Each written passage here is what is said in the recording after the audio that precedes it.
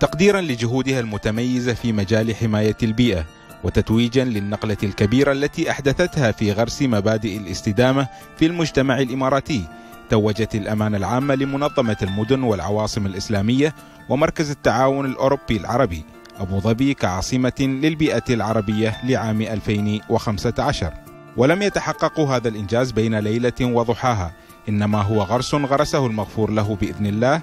الشيخ زايد بن سلطان آل نهيان طيب الله ثراه في مجال حماية البيئة حيث وجه بالاهتمام بها وإقامة المحميات وتوسيع الرقعة الخضراء في دولة شكك المختصون في مجال البيئة بأن تتحول من منطقة تحدها الرمال من كل صوب وحدب إلى جنة خضراء يضرب بها المثل في المحافل العالمية.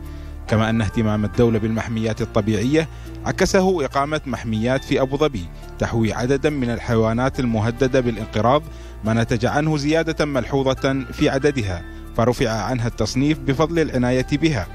وتعتبر محمية الوثبة البرية ومنتزه القرم الوطني من العوامل الرئيسية التي ساهمت في الحفاظ على عدد من الأشجار والطيور والحيوانات التي شارفت أغلبها على الانقراض كما أنه يوجد في محمية صير بنياس منتزه الحياة البرية العربية الذي يعتبر موئلا لأكثر من عشرة آلاف من الحيوانات التي تتجول في ربوعه بحرية فهو من أكبر محميات الحيوانات البرية في منطقة شبه الجزيرة العربية حيث يغطي أكثر من نصف مساحة الجزيرة.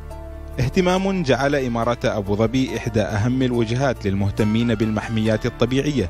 وصف البعض هذا التحول بالمعجزة. فكيف تستطيع خلال فترة قياسية من تحويل الصحراء القاحلة إلى جنة خضراء؟